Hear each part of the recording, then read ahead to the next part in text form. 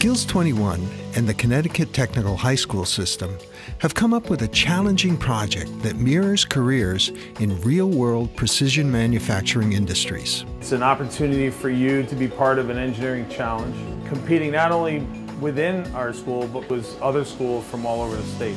As the Advanced Manufacturing Challenge begins, students are in for an exciting new experience that will deepen their involvement beyond typical assignments. We were approached with a challenge that uh, we need to make an air compressor that is manually driven so that it could be used in locations where there were no power or fossil fuels. EdAdvance chooses parameters that align with student skills so that students are able to finish a prototype and marketing plan for their project and present it before judges at ExpoFest in the spring.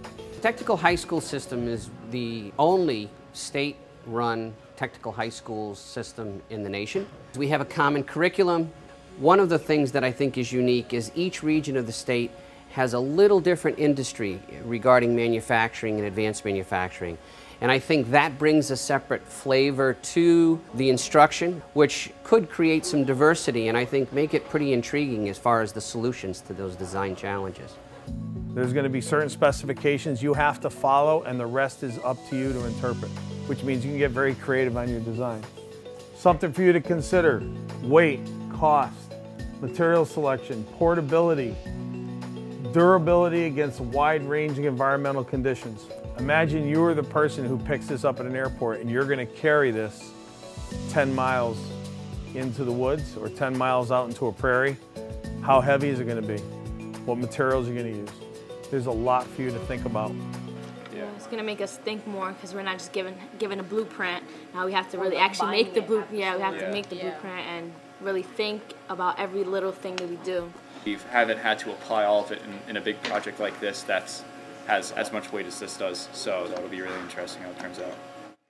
Introducing the challenge in the fall, teachers offer students a chance to put their skills to use while they still have time to gain new ones. And then it goes one line beyond there, right?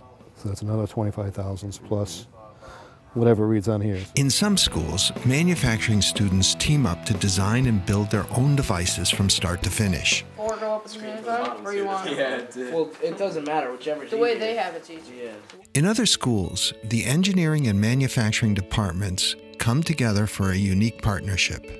So it occurred to us, well, why not treat this like it was in the real world and let the design engineers come up with the designs and once they establish those designs, we'll bring in the manufacturing group and work collaboratively so that the design engineers know what they want, the manufacturing people know what they can make and how to make it, and come up with a common plan.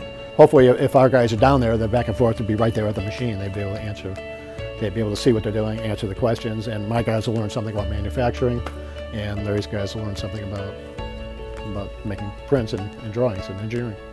The ideal person out in industry, whether they become an engineer or are into manufacturing, needs to know each other's job so they know where they're thinking. Too many times components are over-designed and you can't make it. This is the first time that we're entering a competition where we're mixing two shops together, so that's going to be nice to see that.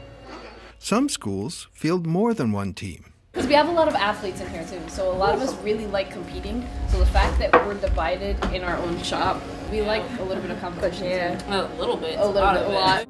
I really see the value in this manufacturing challenge as a way to incorporate project-based learning and have it actually align and really work with our existing curriculum and learner outcomes that are expected of our students. So how do students decide what to make for their project?